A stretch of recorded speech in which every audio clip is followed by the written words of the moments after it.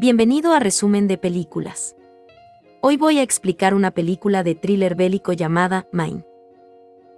En una importante misión en medio del desierto, vemos a Mike, un hábil francotirador estadounidense, junto a Tommy, su observador y asistente. Ellos están encima de una roca, esperando a que llegue un convoy con un peligroso terrorista al cual deben eliminar. Mientras hablan, un grupo de civiles llega caminando al lugar. Segundos después, se puede ver el convoy acercándose mientras Mike recibe indicaciones sobre cómo actuar. Las camionetas se detienen y de una de ellas se baja el objetivo, al cual deben asesinar. En el lugar se estaba celebrando un casamiento, y Mike intenta atacar a su objetivo, pero no consigue un disparo limpio. De repente, uno de los combatientes ve el reflejo del sol en la mira del francotirador, por lo que grita y alerta a los demás. El objetivo se retira en la camioneta mientras que los demás disparan contra los soldados. Mike y Tommy huyen a pie intentando camuflarse con el entorno. Los combatientes los persiguen, pero los soldados logran esconderse detrás de una roca. Cuando están a punto de encontrarlos, uno de los combatientes da la orden de retirada, ya que se puede ver una feroz tormenta de arena acercándose rápidamente. Dentro de la tormenta los soldados aprovechan para moverse y piden ayuda por la radio. El centro de mando les dice que una extracción inmediata es imposible y les ordena que se dirijan a un pueblo al oeste de donde están, ya que si se quedan allí los combatientes podrían volver y encontrarlos. Tiempo después, la tormenta pasa y podemos ver a los dos soldados caminando bajo el sol. El viento trae volando un cartel de chapa, en el cual están impresas unas letras extrañas con una señal de peligro. Tommy le dice que el cartel es una falsa señal para mantener a los enemigos alejados, pero que en realidad no hay nada de qué preocuparse. Mike no está tan seguro de eso, y le dice que podría indicar la presencia de minas terrestres bajo la arena. Tommy incita a Mike a seguir moviéndose hacia el pueblo, y el chico lo sigue por detrás, de manera desconfiada. Al poco tiempo, mientras hablaban, Tommy pisa una de las minas, y al levantar el pie vuela por los aires. Mike queda aturdido e intenta ir a ayudar a su compañero, pero al dar un paso escucha otra de las minas activarse debajo suyo. Mike se da cuenta de esto, por lo que se queda inmóvil, ya que si deja de ejercer presión sobre la mina, la bomba se detonaría. La radio estaba en la mochila de Tommy, por lo que el sujeto, agonizando, se inyecta morfina para aliviar el dolor e intenta estirarse para alcanzar la radio. Tommy intenta comunicarse con el centro de mando, pero no lo consigue. Sus heridas son muy graves, se está desangrando, y como nadie puede ayudarlo, decide terminar con su sufrimiento. Mike se encuentra desolado y muy angustiado, pero debe resistir. Se pone de rodillas y saca su cuchillo, con el que comprueba que realmente está parado sobre la mina antipersonal. Luego, se quita el cordón de la bota, quita el portafusil del francotirador y arma una especie de gancho improvisado con un hacha táctica en la punta, el cual usa para enganchar la mochila de su compañero y acercarla hacia él. Al intentar usar la radio se da cuenta que no le queda batería, por lo que saca de la mochila un panel solar portátil y la pone a cargar. Al rato, intenta comunicarse nuevamente con la base militar, y esta vez lo consigue. Mike informa de su situación y la de Tommy, y pide evacuación inmediata con desarme de explosivo. Del otro lado, le indican que sus vehículos aún no están en uso por las tormentas de arena, pero que hay un convoy aliado que podría pasar por su ubicación en 52 horas. Además, le sugiere que la mina podría ser antigua, por lo que hay una probabilidad de que no explote al levantar el pie. La comunicación se corta y Mike activa una cuenta atrás de 52 horas en su reloj. Al rato, come una barra energética y se da cuenta que una fuerte tormenta de arena avanza hacia él. Mike agarra su rifle con una mano y su cuchillo con la otra, y los clava en la arena para apoyarse, de modo que los rápidos vientos no logren hacerlo caer. Cuando la tormenta pasa, Mike ve que su amigo está a su lado. Decide tomar las baterías de la radio que estaban en el chaleco de Tommy, pero al buscar la mochila, ve que el viento la alejó varios metros, a una distancia inalcanzable. El chico ríe con cierta demencia y dispara al cielo esperando que alguien lo oiga. Al poco tiempo, un señor aparece desde las dunas y Mike intenta comunicarse con él. Le grita alertando del campo de minas, pero el sujeto no le hace caso y sigue avanzando. El señor habla un poco español, y parece saber cómo llegar con Mike sin pisar ningún explosivo. Al acercarse, le dice que debe dar el siguiente paso. El chico está muy confundido y le dice que no puede, a lo que el sujeto le señala su cantimplora. Mike se la da y luego le pide que por favor busque su radio. El hombre le dice que en la radio no pasan buena música, e insiste a Mike con que dé el siguiente paso. Luego se va mientras Mike le grita, intentando explicarle que no puede moverse. Al rato, la hija del hombre aparece y se acerca corriendo a Mike con su cantimplora. La chica se la devuelve, llena de agua, y Mike bebe y le agradece, mientras la niña saca de su bolsa un soldado de juguete. El hombre saca de su chaleco uno que traía con él, y se lo da a la chica para que se ponga a jugar. Segundos después, Mike le pide que le alcance la radio y la niña lo mira. El hombre se desespera y le grita, por lo que la chica se va corriendo.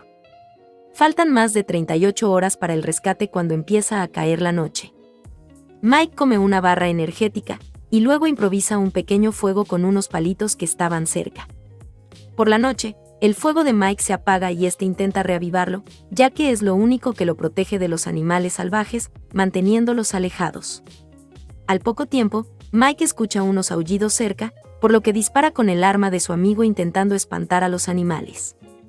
Los chacales se acercan y se llevan el cuerpo de Tommy, y Mike dispara a uno de ellos, que al huir, detona una mina del suelo espantando a todos los demás animales. Al otro día, el hombre aparece nuevamente y le pregunta su nombre. El señor le cuestiona a Mike porque no es un hombre libre, y le sugiere que es un hombre con suerte, ya que pudo sobrevivir a una noche en el desierto con el pie encima de una mina. El sujeto asegura que Mike tiene miedo, y le dice que cada día su paso puede ser el último, entonces ¿cuál es la diferencia hoy? Mike le dice que, aunque sea una persona con suerte, solo hay 7% de probabilidades de que la mina no explote al dejar de pisarla, y le pide nuevamente que le alcance la radio. El hombre se la da, y Mike intenta comunicarse con la base, pero no lo consigue. Momentos después, el señor le dice que se convierta en un hombre libre, y luego se va. Al atardecer, Mike comienza a delirar y alucinar, y se pone a discutir solo con alguien invisible. Momentos después, ve a su amigo, Tommy, levantarse de la arena, diciendo que ya casi es hora de volver a casa y que se quedará a su lado. Por la noche, Mike escucha su celular sonar e intenta alcanzarlo. Su amigo le dice que está loco, ya que aquí no hay señal, pero luego le muestra el celular, con una llamada de su padre. En la alucinación, Mike recordaba cómo su padre lo abandonó cuando era chico. Él quería sobrevivir para poder ver a su esposa, Jenny, y no abandonarla como hicieron con él. Al poco tiempo, una jauría de chacales se acerca a Mike y lo atacan. El chico se defiende como puede, con su pistola y un cuchillo, mientras los animales salvajes se le abalanzan. A la mañana siguiente, podemos ver a Mike temblando y sangrando, aún con su cuchillo en la mano. En el reloj se ve que faltan siete horas para su rescate, y el chico agarra la radio para comunicarse con la base. Le dicen que el convoy fue atacado y está retrasado, por lo que deberá sobrevivir otras 17 horas antes de que lleguen a su posición. Mike está destrozado, pero el comandante le pasa el micrófono a Jenny, su esposa. Al escuchar su voz, Mike le pide perdón por haberla dejado sola y se arrepiente de las decisiones que lo llevaron a la situación en la que está. Luego, alucina con verla enfrente suyo y comienza a desvanecerse, cayendo hacia adelante. Por suerte, el hombre que lo ha estado ayudando aparece y lo sostiene, evitando que Mike levante el pie de la mina y explote. Mientras cura sus heridas, el señor le dice que hace mucho tiempo, él también se paró sobre una mina que le voló la pierna. Le cuenta que creyó que su vida terminaba en ese momento, ya que nada volvería a ser como antes, pero aún así, pudo recuperarse y ahora es un hombre feliz. Mike escucha atentamente y lo felicita por tener una niña tan buena, que lo ayudó trayéndole su cantimplora. Confundido, el hombre le dice que su hija murió hace unos años. Resulta que ellos son muy pobres, por lo que excavan las minas para venderlas al ejército, dejando una pequeña lata de metal en su lugar. En una de esas excursiones, su hija pisó una de las minas, haciendo que explote y muriendo en el acto. Mike está confundido, ya que él había visto a su hija. Cuando termina de curarlo, le da de beber una extraña sustancia y luego se va. Mientras se aleja, Mike ve a su hija de nuevo, pero rápidamente desaparece tras una nube de arena. Al poco tiempo, Mike empieza a alucinar nuevamente. Su vida pasa por sus ojos y ve a su padre, que solía pegarle a su madre.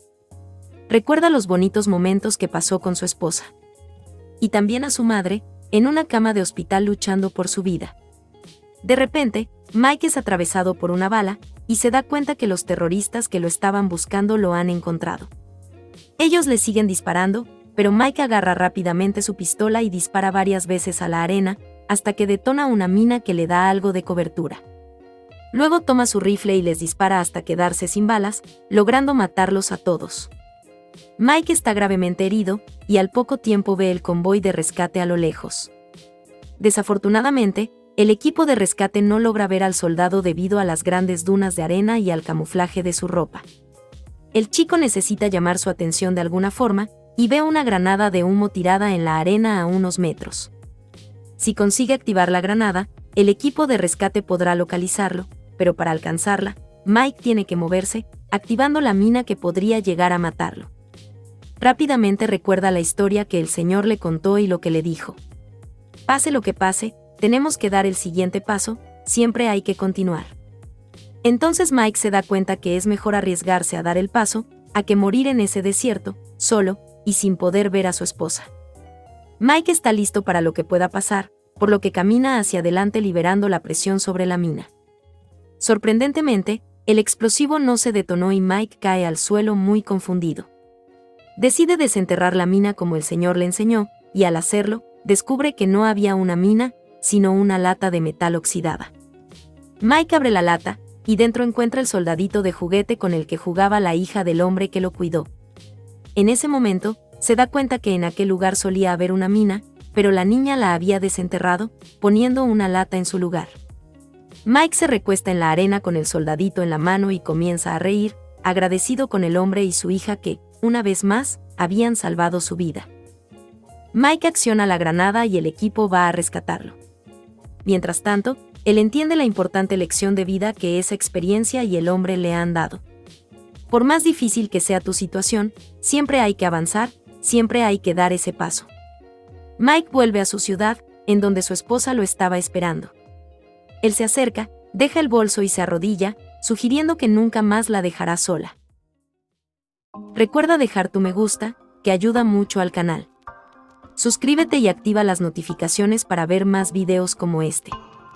Gracias por ver, y hasta la próxima.